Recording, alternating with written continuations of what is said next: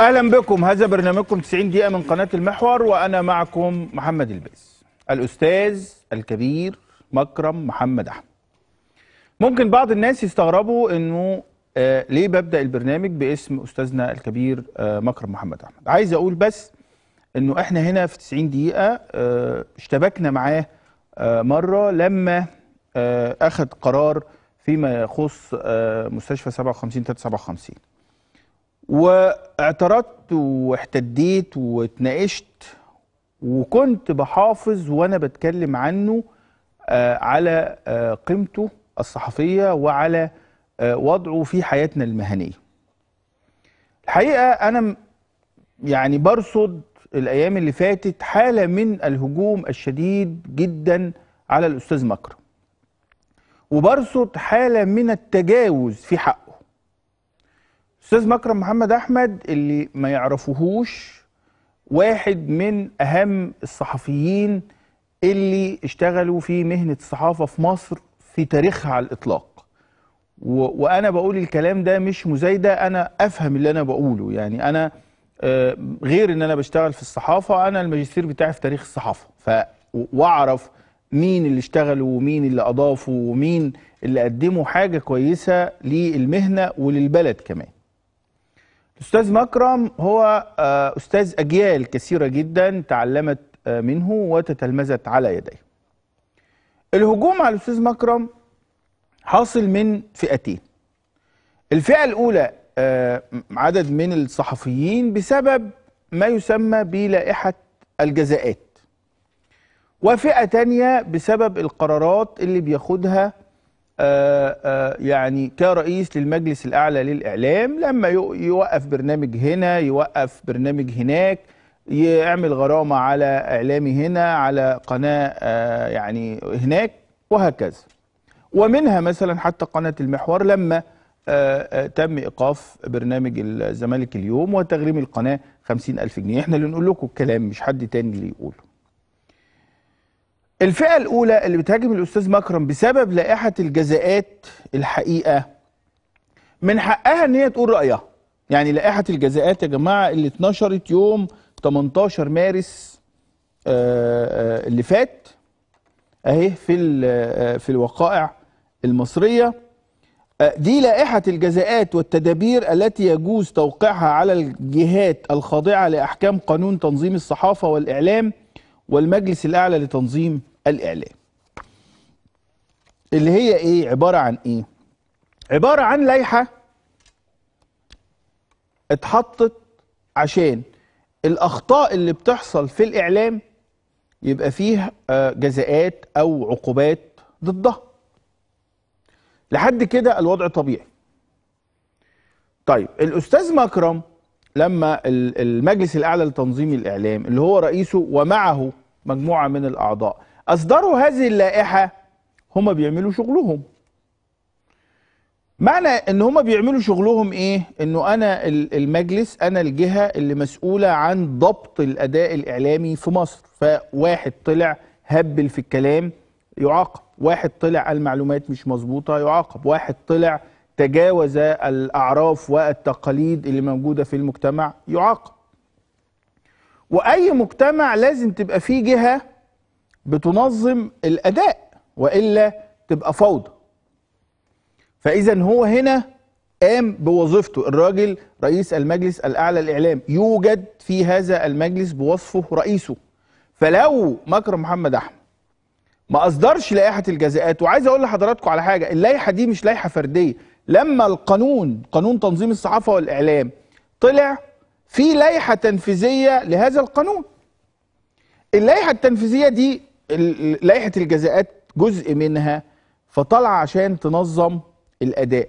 لو هو ما عملش ده يبقى أثر في شغل. حتى لو في ملاحظات من الصحفيين والإعلاميين إنه لائحة الجزاءات دي فيها نوع بقى من آه يعني الإبعاد وفيها نوع من محاصرة الحرية وفيها ده طبيعي وده دور الصحفيين هم يعملوه. لكن دون تجاوز ودون توجيه إهانات لهذا الرجل اللي هو له أفضال على الصحافة والإعلام في مصر. وأنا مسؤول عما أقوله. ليه؟ يعني إنك تعترض عليه ما تعترض عليه. تناقش لائحة الجزاءات وتقول لا لائحة الجزاءات دي تضر ب آه، آه، آه، يعني حالة الحريات في الإعلام وفي الصحافة المصرية. قول أنت حر. حقك. لكن أن يتحول الاعتراض ويتحول النقد إلى توجيه شتائم وإهانات لهذا الرجل ده اللي مرفوض. وده اللي المفروض الناس تحاسب عليه. أصل هي مش فتوانة. يعني هي مش فتوانة إنك تطلع مثلا تكتب على الفيسبوك أو تتكلم في فيديو وتوجه إهانات شخصية إلى مكرم محمد أحمد. أنا بتهيألي مش بتهيألي أنا على ثقة من إنه ده عيب ويوقع أصحابه كمان تحت طائلة القانون لو الأستاذ مكرم حرك دعاوى ضد الناس اللي بتشتمه أو بتهينه أو بتوجه له سباب وشتائم على التواصل الاجتماعي أو على اليوتيوب. حقه. ولو لجأ إلى هذا السلوك محدش يلومه. يعني يقول له ليه يا أستاذ مكرم؟ أنت صحفي ودي مفروض حرية رأي لأنه حرية الرأي حاجة وإنه آه، أهين الرجل وأسبه وأشتمه واقذف في حقه آه، ليل ونهار. هو اختار الأستاذ مكرم اختار أن يقوم بهذه المسؤولية وأن يكون مسؤول عن تنظيم وضبط الأداء الإعلامي اللي لازم يكون له لائحة. اللائحة مش عاجباك حلو قوي تلجأ إلى الأساليب المتحضرة للاعتراض. في نقابة الصحفيين هتعمل تحرك تعمل تحرك. هو لو أصدر قرار بإيقاف موقع بغلق موقع مثلا آه، غلق مؤقت أو إيقاف جورنال أو آه، آه، غلق برنامج لمدة معينة في قانون. في محكمة تلجأ لها روح القضاء الإداري واطعن في قرار المجلس الأعلى للإعلام لأن دي بلد مفروض إحنا نقول إنها بلد مؤسسات من خلال الممارسة إنما يا جماعة إحنا مش عاوزين البلد تتحول إلى ساحة للشجار والخناق.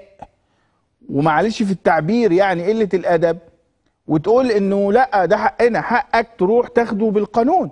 هو المجلس الإعلام طلع قرار أنت شايف إن القرار ده ظالم ليك. روح المحكمة ارفع دعوة عشان تاخد حقك.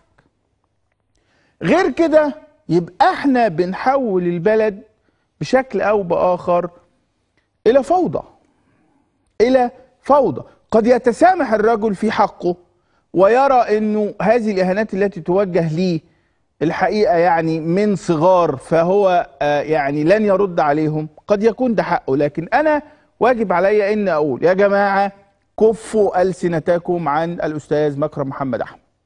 يا جماعة عيب اللي أنتوا بتعملوه لأنه ده أحد أحد أنا ما بحبش كلمة رمز دي. ما بحبش كلمة رمز. يعني مش عايز أقول أحد رموز الصحافة والإعلام في مصر. ما بحبش كلمة رمز. لكن أنا بقول هذا الرجل أحد رواد العمل الصحفي والإعلامي في مصر. ليه؟ أيادي بيضاء على عدد كبير جدا من الصحفيين. وتصدى آه، في عز الإرهاب إلى هذه الجماعات الإرهابية بالكتابة وبالكلام. وما, وما لا يعرفه كثيرون أن الأستاذ مكرم محمد أحمد تعرض إلى عملية اغتيال بسبب كتاباته ضد الجماعات الإرهابية. بشكل واضح. فعيب هذه الرسالة إلى الصحفيين اللي قاعدين بيتجرأوا عليه إلى الناس اللي بتحتج وبتشتمه. عيب احترموا نفسكم. ببساطة. هو رجل عف اللسان مش عايز يعني بيخرج أحيانا هو الأستاذ مكرم عصبي يعني.